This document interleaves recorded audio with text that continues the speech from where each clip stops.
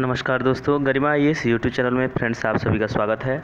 Friends, आप लोगों को आज जो है तीन जून को सिविल सेवा प्रारंभिक परीक्षा हुआ है। उसका पेपर वन का अंग्रेज़ी माध्यम में फ्रेंड्स ये क्वेश्चन पेपर है।